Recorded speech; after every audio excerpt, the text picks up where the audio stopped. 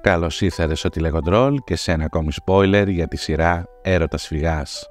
Όπως θα παρακολουθήσουμε, οι εξελίξεις κόβουν στην ανάσα. Ήδη στα επόμενα επεισόδια αναμένονται δραματικές εξελίξεις με τη δίκη της Αλεξάνδρας, να μπαίνει στην τελική ευθεία και τη Μαριέτα να παίρνει την απόφαση να τη στηρίξει, προκαλώντας την οργή του Ιάσονα. Όμως όλο αυτό κάπου θα πρέπει να καταλήξει. Η Μαριέτα θα κάνει στροφή 180 μοιρών αφήνοντας άφωνος τους πάντες. Αποφασίζει να στηρίξει την Αλεξάνδρα με όλη της δύναμη και έχει μετανιώσει πικρά για ό,τι έχει συμβεί. Κατά βάθος γνωρίζει ότι υπεύθυνη για ό,τι έχει συμβεί είναι η ίδια και πως εκείνη όπλησε το χέρι της Αλεξάνδρας και παρολίγο να χάσει και το παιδί της. Ο Ιάσονας όμως ξεσπά και της επιτίθεται βάζοντάς την πλέον στη λίστα των εχθρών του.